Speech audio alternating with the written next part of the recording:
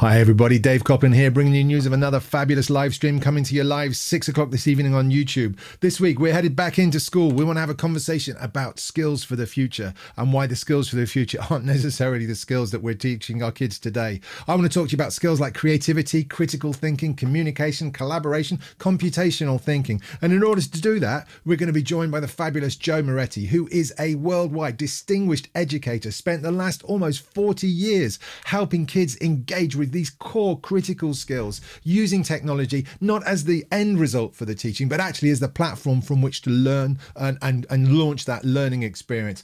It's going to be a fabulous conversation. We're going to be live at six o'clock this evening. We would love it if you could join us. Hope to see you there.